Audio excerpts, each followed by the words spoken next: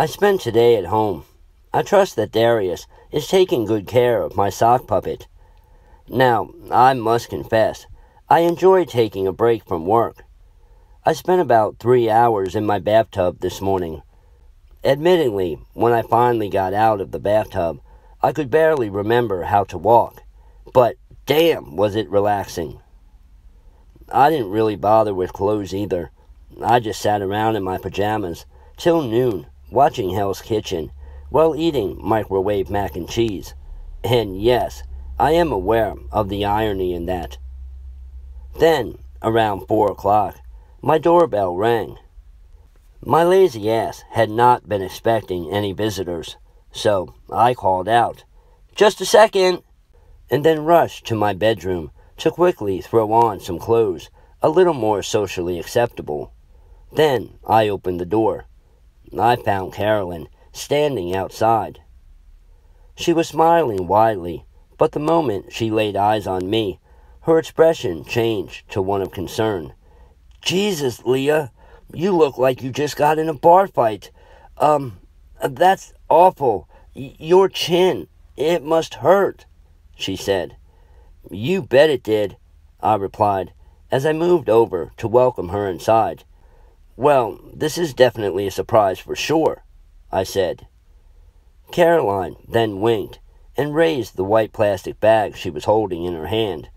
A pleasant one, though, right? I brought us some snacks. I was hoping that you'd like to hang out a bit, she said, turning her head and adding sheepishly, I feel a bit lonely at times. The only one around Hollywood is Oliver, and I don't like him all that much, she said. I then smiled and told her I would be happy if she stayed. She was elated. The two of us put on a movie and chatted for a couple hours. Caroline had only been at my place once before, and that was just a short visit to bring me my purse, which I had forgotten in the pianist's restaurant.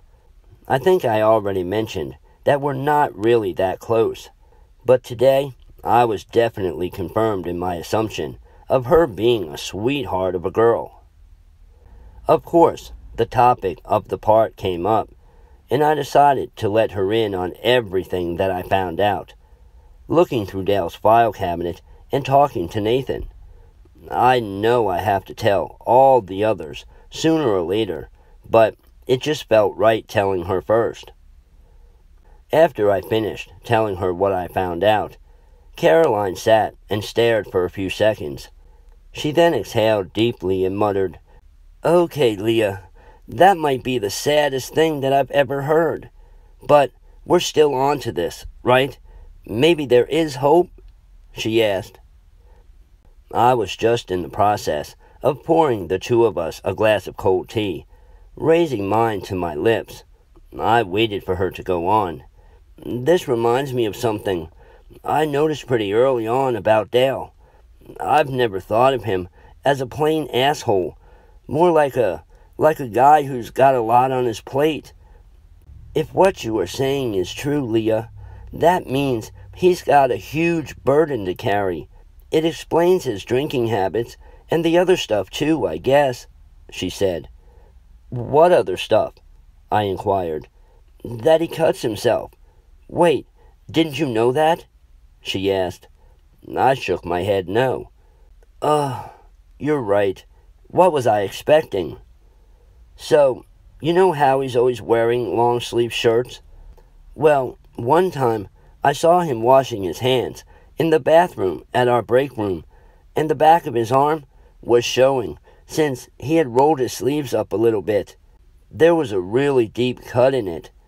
I remember it looked a bit like the letter E, but that might have been just a trick of the light. It was fresh and scabby. He must have just made it the day before or something. Either way, he noticed me staring and immediately pulled up his sleeve and then left, she said. Caroline then took a sip of her tea. For some reason, I was curious about the cut. It felt very important, like something I should pay attention to. When was this, Caroline? I asked. My friend pondered for a few seconds, before answering my question. I'm not sure, Leah. It's definitely been a while, though. I think it was before you started working with us. Why? Uh, do you think it's significant? She asked. I just shrugged. Maybe. It feels like nearly everything could be, I said. Suddenly, a thought crossed my mind. Say, you've been a park employee far longer than I have. Do you, by chance, remember Halloween night in 2016? I asked. Of course. Boy, that sure was something.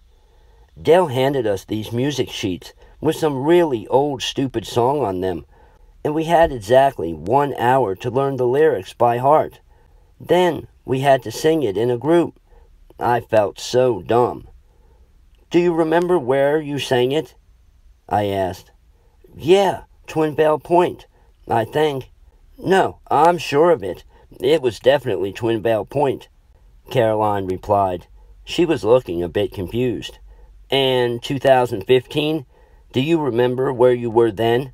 I asked. Yeah, Candyland, she replied. You're kidding, I murmured. Okay, get this. Every Halloween is being celebrated in another section of the park, but they're chosen deliberately. The order is Twin Bell Point first, second is Hollywood, third is the horror section, and the year after that, it's Candyland. I mean, I don't know if it actually starts with Twin Bell Point, but the circle does repeat itself. I said. Yeah, but what does it mean? Carolyn asked. I'm not really sure, but it's some sort of ritual. That much I am certain of. Maybe it's just to keep the pretenders in place, or knowing what we know about Dale, for him to choose who gets turned into one. Although I doubt that it's him who actually makes the choice, I said. What's that supposed to mean? Carolyn said, sounding a bit unsettled. He was forced to poison Nathan. He said it himself. It's pretty obvious that he didn't want to. Someone else is making these decisions for him, and for some reason, he has to obey them. So, whatever bargaining chip that they have, it's gotta be massive. Remember last Halloween? We all felt like like something or someone was moving around behind our backs when we were all standing in that circle?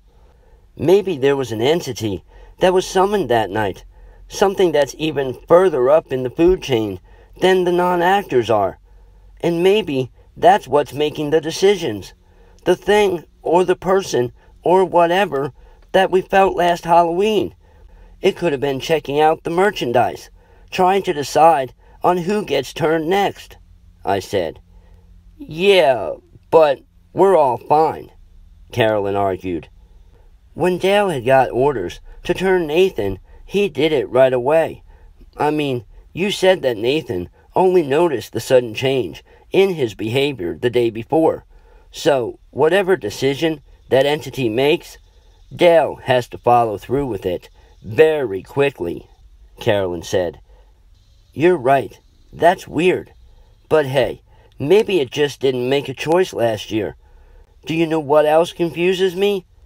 The other tasks that Dale gave us are all really nonsensical. He only did the seance last year, but before that, there was just a ton of weird stuff. Sure, maybe he wants to keep us from asking too many questions, but come on, even if we did, he doesn't answer them. Plus, we all participate every year anyways, since he pays us extra. So, what's the point? I said. Yeah, I don't get it either, Caroline said, leaning back and staring at the ceiling. You know, sometimes when I'm in the park, everything seems to, to try and keep me from doing my job. Do you ever get that feeling? She asked. I shook my head. Caroline then swallowed. Good for you, I guess. What I mean is that on certain days, when I'm a bit late for the question and just try to hurry to the pianist as quickly as possible, everything goes wrong. There's crowds of visitors standing in my way. Some folks try and stop me to take a picture with them.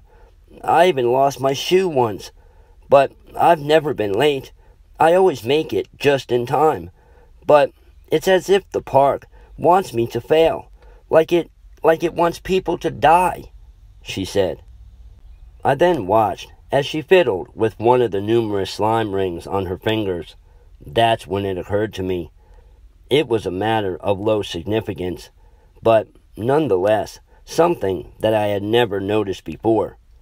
The main plazas of the four sections of the park form some kind of rudimentary circle, while the sections themselves seem to be in no settled formation, nor in any order.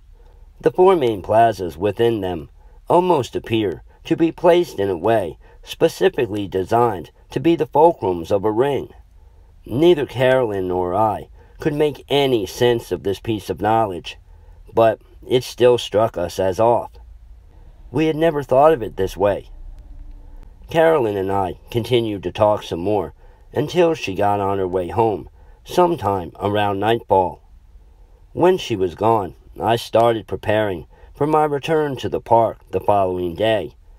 It took me a while to get everything together, but by the time I was done, I had quite a few things laid out in front of me that I would need. I decided to bring Nathan a change of clothes. I have a pair of men's sweatpants and a couple t-shirts, which I wear when I'm at home. I like how baggy and comfortable they are on me. I took them from my dad's closet when I moved out. I'm not sure if they'll fit Nathan, but it's definitely worth a try. Plus, I found some lotion that works very good on sunburns. Could be useful, right? Something that I did not clarify about the coachman last time is that while he does reek and looks quite tasseled, he is not in need of a shave, nor a nail trim, or anything like that. Not too badly, at least. I think his body must have given up most of its normal functions not too long after he started to turn, just like he doesn't seem to need to eat or drink or defecate anymore. Still, some new clothing won't hurt. I also rounded up whatever candy I had left at home, with the aim of giving it to him. At least he'll have something to enjoy. I also decided to stop taking my whip with me wherever I go. I don't want to get too attached to my costume. There might be a higher chance of, well, not being able to slip back out of my role one day. I apologize for this rather uneventful update. I found it very important to share my conversation with Caroline and my reflections about Dale, Halloween, and the other conspicuous characteristics of the park. I feel much better and am ready and eager to continue my investigation. Speaking of which, the other items I gathered are another laurel twig that I got from the lady next door, an iron nail, and an old silver bracelet.